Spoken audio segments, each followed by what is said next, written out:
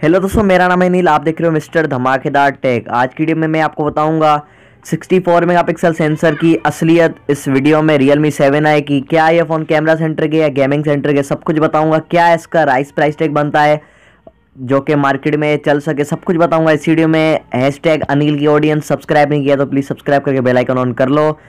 Let's start the video सबसे पहले कुछ यहाँ पे फीचर्स मेंशन है सिक्सटी 64 मेगापिक्सल का मेन सेंसर है और दो दो मेगापिक्सल के इन्होंने एक्स्ट्रा लगाए मैक्रो और डेप सेंसर और एक अल्ट्रा वाइट सेंसर है 8 मेगापिक्सल का।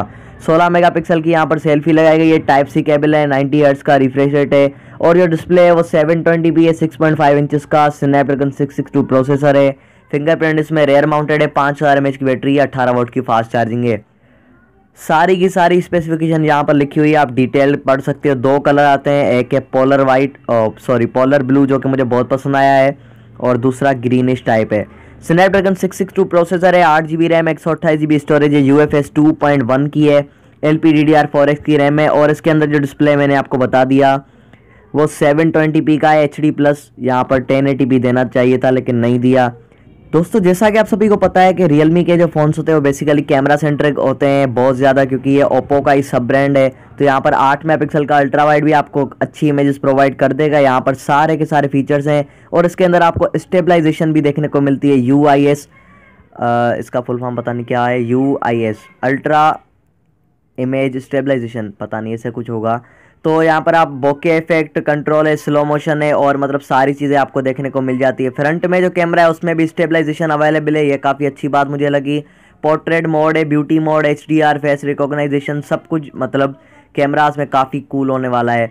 अब यहाँ पर लिखा हुआ है सिक्सटी फोर में आप है लेकिन मैं आपको यहाँ पर कुछ स्क्रीन शो कर रहा हूँ, जिसमें लिखा हुआ है कि स्नैपड्रैगन 662 जो है ना सपोर्ट ही 48 मेगापिक्सल करता है। अब ये जो वेबसाइट है बेसिकली कॉलकॉम की ऑफिशियल वेबसाइट से मैंने स्क्रीनशॉट लिया है, और मैंने दो तीन और भी वेबसाइट ट्राई की, सब पे यही लिखा था कि 48 मेगापिक्सल ही सपोर्ट करता है ये प्रोसेसर तो इन्होंने भी वही काम किया है जो इन्फिनिक्स नोट एड में काम हुआ था। फेक सेंसर लगा के इन्होंने जो है ना, वो सीन ख़राब कर दिया था। अब इसका ना प्रोसेसर इतना ज़्यादा स्ट्रॉन्ग है डिज़ाइन अच्छी है, बिल्ड क्वालिटी भी ओके है और कैमराज में जो इन्होंने कहा है यू आई एस है, या इतने ज़्यादा अच्छे ऑप्शन इन्होंने लिखे हैं।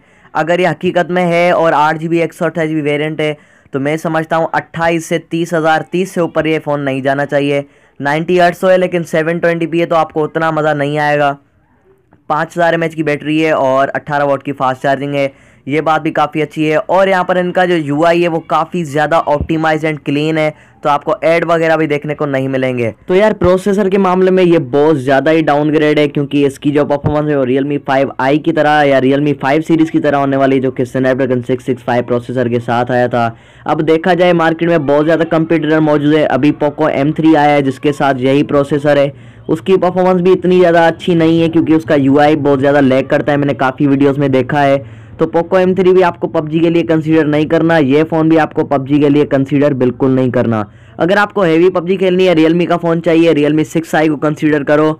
उसमें जो हीलियो जी एटी प्रोसेसर है, वो भाई काफ़ी ज़्यादा कमाल का पबजी हाई के साथ HD पे प्ले कर देता है स्मूथ और बैलेंस के साथ अल्ट्रा पे चल जाती है। तो प्रोसेसर के मामले में रियलमी सिक्स आई से पीछे रियलमी फाइव से मैच करता है। तो यार, मुझे तो घंटा ही फ़र्क नहीं पड़ता कि इसकी जो है ना sixty four mega pixel support करता है प्रोसेसर या नहीं करता है। इस चीज़ से तो मुझे कोई लेना देना नहीं है। अब जबकि यहाँ पर इन्होंने छाप ही दिया है सिक्सटी फोर मेगा पिक्सल है तो जब आईफोन 12 प्रो मैक्स में आपको 12 मेगापिक्सल का लेंस मिलता है और उसकी कैमरा अच्छी होती है तो मुझे बस कैमरा क्वालिटी अच्छी चाहिए। आई डोंट केयर के 48 मेगापिक्सल है 32 मेगापिक्सल है, ये है, वो है। आई रियली डोंट केयर और यहाँ पर हिलियो जी नाइनटी हमने रियलमी सिक्स में देखा था। तो ये भी बेसिकली एक डाउनग्रेड है। रियलमी वापस ओप्पो बनना चाह रहा है, जबकि उसको बनना रेडमी चाहिए। क्यों ऐसा कर रहा है, उस पर मैं वीडियो सोच रहा हूँ। बताना कमेंट्स में कि बनाओ या नहीं बनाओ। शुक्रिया इन सब दोस्तों का जिन्होंने इतनी अच्छे से कमेंट करके मुझे मोटिवेट किया। एंड स्पेशल व्यूअर हमारे हैं Shahzad Aziz thank you bro और उसके बाद यहाँ पर एक बंदे ने रियल टाइम व्यू काउंट पे एक प्रॉब्लम चल रही है। एक बंदे के पास डॉलर शो नहीं हो रहे तो उसको मैंने एक सोल्यूशन बताया। उसके बाद एनोनाइमस चवल बंदा कहता है is it a comedy channel और अ टेक चैनल भाई, ये दोनों ही है। उसके बाद यहाँ पर एक और बंदे का अक्रम इकबाल हुसैन, पहले फ़ोन ले लो, फिर बात करो। तो मैं आपको इनको बता दूँ कि एक्सपेरिमेंट्स होते हैं ना एक्सपेरिमेंट और ऑब्जर्वेशन उन पर भी कोई चीज़ बेस करती है।